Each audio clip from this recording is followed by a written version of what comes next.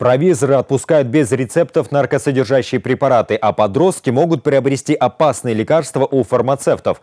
Об аптечной наркомании среди школьников рассказали в Министерстве внутренних дел Казахстана. По данным полиции, одним из самых опасных является препарат трамадол. Это лекарство точки входа в наркоманию.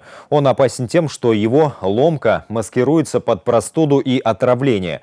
Помимо него, для состояния эйфории школьники могут использовать некоторые глазные капли капли.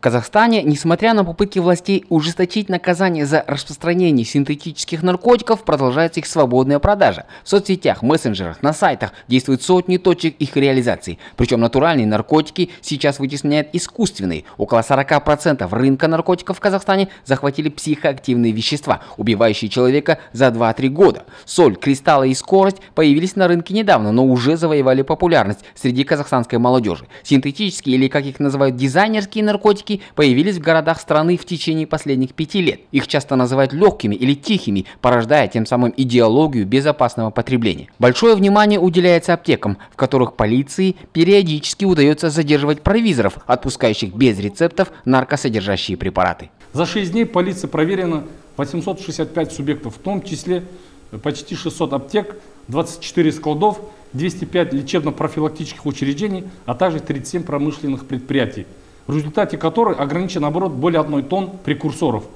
Свыше 5000 сайтов по распространению наркотиков выявлено в Казахстане. Вычислить администраторов сайтов не так просто, поскольку доменная зона находится за пределами страны, а сбыт осуществляется на территории республики. Так, наркобароны используют современные технологии продаж и без риска для себя зарабатывают огромные деньги. В Казахстане за сбыт наркотиков через электронные ресурсы грозит до 15 лет, но похоже это никого не пугает. Наркотики продают не только через сайты. Подростки могут приобрести опасные препараты у фармацевтов.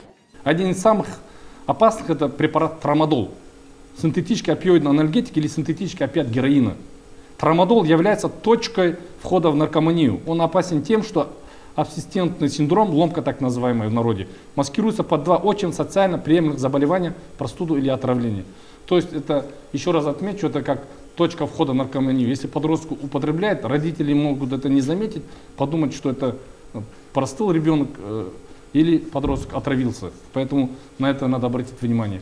Об этом я в своей лекции тоже сказал, э, выступил, есть в Ютубе. Можете подробнее там прослушать. Помимо трамадола имеются препараты, которые могут использовать для состояния эйфории, это как глазные капли, тропикамид и цикламид. По словам полиции, большое опасение вызывает то, что там, где развивается безработица, наркотики приживаются мгновенно. В Казахстане ежегодно изымается до 40 тонн различных нарковеществ. По информации Республиканского научно-практического центра психического здоровья, в стране на учете состоит чуть более 26 тысяч человек с наркозависимостью. Но, по оценкам СПИД-центра, количество лиц, употребляющих инъекционные наркотики, может быть как минимум в 4 раза выше.